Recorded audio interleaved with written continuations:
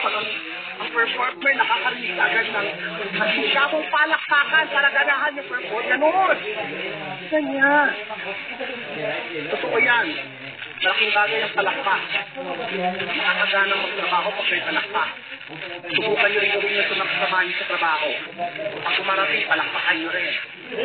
Para magtulungan kayo sa awi ng maaga. May mga tao pala dun sa malayo. Maganda ba ako sa malayo?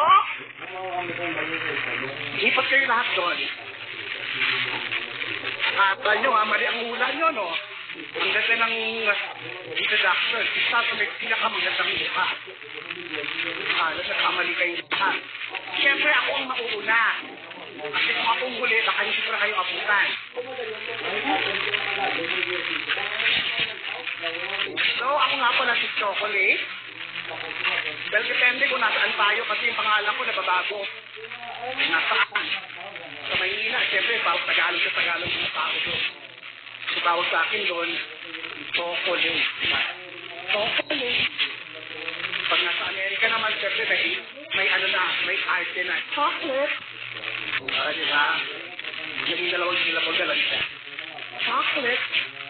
Pag nasa Cebu ako, Diyos ko, airport pa lang, alam ko na nasa Cebu na ako. Chocolate! Chocolate! Parang ganito yung tao sa akin. Chocolate! Pag nasa Iloilo naman, ako, Lord, siyempre may lambing yun.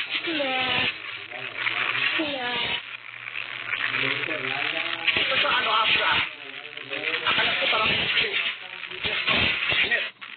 Kulit. Pinaksil. Kulit. Sa ko. First time ko sa Bohol, naloka ako. Tawag sa akin ng mga tao doon, tatliya, tatliya. Yung iba, kukwa, kukwa. Kulang na lang sa kakao. Ang bongga naman kahit nasa malayo ko kayo, siyempre. Nakikita tayo dun, no?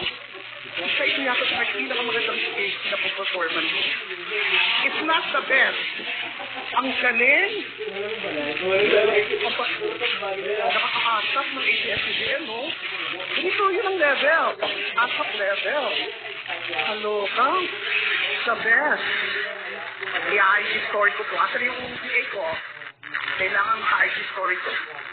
Mamaya naman kayo naman, manood kayo mabuti ha. At sa akin, saban niyo mo yung mga cellphone nyo. Picture kayo ng picture. Hindi naman ako naniniwala dyan. Ang dami nagpipicture sa akin, wala naman ako nakita nag-upload. Kalokohan yan. Picture, nag-memory full, ako rin ang unang i-delete. Huwag nyo na yung, na. I-enjoy nyo na yan.